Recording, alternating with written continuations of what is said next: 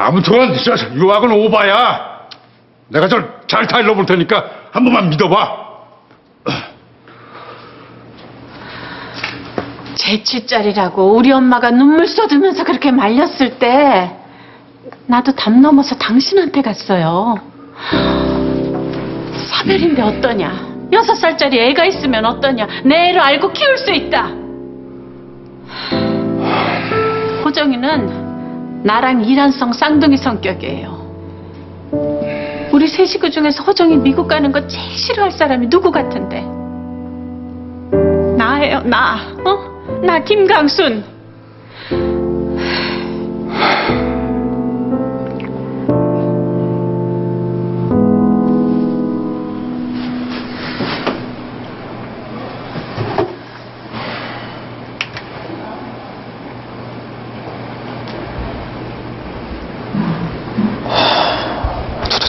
생각인 거야?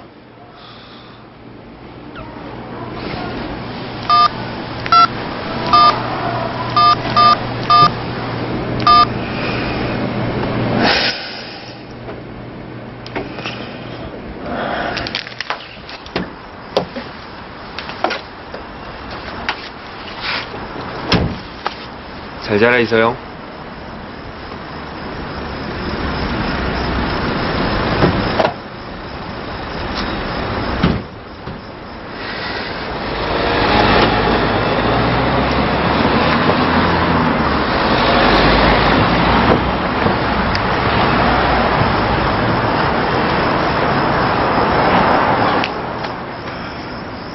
쳐다보지 마. 내 앞에서 저 사람한테 들킬까. 눈치 보지 마라.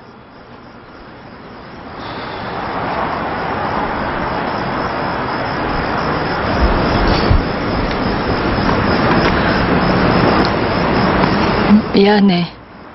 너 무슨 생각이야? 무슨 생각으로 가만히 있는 거야? 말했잖아. 말 못한다고. 아버지에게 거짓말했다고 너에 대한 사랑이 없어지거나 야 그랬다고 돌아서면 애초에 아닌 사람이잖아 그럴 사람 아니야.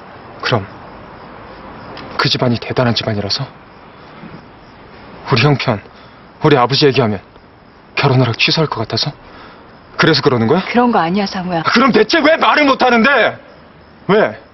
왜? 왜? 처음에는 그렇게 생각했어. 허락할 리가 없다. 아니, 허락 받고 싶지도 않았어.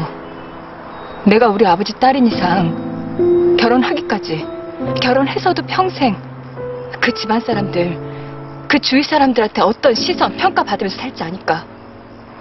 그런 거 안 하고 싶었어. 안 하려고 했었어. 그렇게 치사하게 죄인처럼 숙이고 들어갈 만큼 그 사람 필요하다고 생각 안 했었어. 그래 그래서 거짓말했던 거라고 얘기를 하라고 그 말을 안 하기 위해서 그 사람하고 헤어졌었어. 뭐? 아버지 얘기를 하고 싶지 않아서 포기했었다고. 지금 다시 그 말까지 해야 한다면 나는 다시 그 사람 포기해야 돼. 그러고 싶지 않아. 아버지 때문에 불행했던 내 인생에서 단 한 번 행복할 기회마저 아버지 때문에 뺏기고 싶지 않아. 누나 그래도 안 돼 그건 안 돼 아버지잖아 아버지를 버리는 거라고 나는 아버지 때문에 너무 많은 걸 포기했어. 대학도 수학여행도 꿈도 포기했고 갖고 싶은 마음도 웃음도 행복도 여유도 모든 걸 포기하는 게 내 일이었어 아버지 때문에. 근데도 이번에도 포기해야 돼? 내 인생 처음으로 간절하게 원하는 사람이야. 평생 함께하고 싶은 사람인데 또 아버지 때문에? 내가 왜 또 그래야 하는데? 이 사람만큼은 포기하고 싶지 않아. 그래 아버지 우리 아버지 나도 지긋지긋했어